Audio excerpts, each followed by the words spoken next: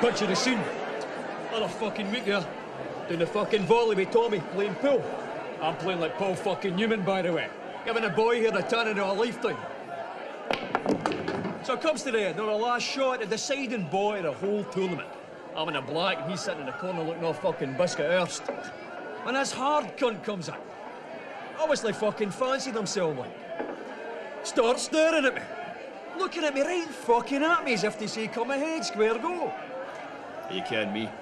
I'm not the type of cunt that goes looking for fucking bother like, but uh, at the end of the day, I'm the cunt with a pool cue and he could have a fat end in his puss anytime he fucking wanted like. So squares up. Casual like. What does a hard cunt do? Or a so-called hard cunt? Shites it. Puts down his drink, turns, and gets the fuck out of there.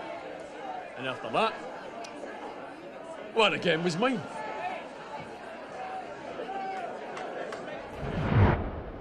And that was it. That was Begbie's story. Or at least that was Begbie's version of the story. But a couple of days later, I got the truth from Tommy. You always got the truth from Tommy. It was one of his major weaknesses. He never told lies, he never took drugs, and he never cheated on anyone.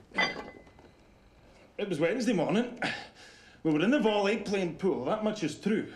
But Begbie is playing absolutely fucking gash. He's got a hangover so bad he can hardly hold the fucking cue, never mind pot a ball. I'm doing my best to lose, you know, trying to humour him like, but it's not doing any good. Every time I touch a ball, I seem to pot something. Every time Begbie goes near the table, he fucks it up. Oh, fuck's sake. So, he's got the hump, right?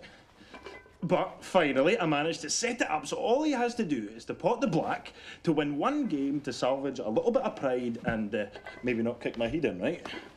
So, he's on the black. Pressure shot. And it all goes wrong big time. Fuck! He picks on this specky wee gadge at the bar and accuses him of putting him off by looking at him. How could you believe it? The poor wee cunt hasn't even glanced in our direction. Fuck off! He was gonna chib him, I tell you. Then I thought he was gonna do me. The Begbie's fucking psycho, man. But he's a mate, you know. So what can you do? Can I borrow this? What indeed could one do? Just stand back and watch and try not to get involved. Begbie didn't do drugs either. He just did people. That's what he got off on. His own sensory addiction.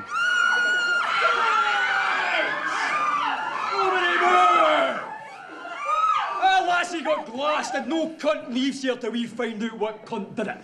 Who the fuck are you?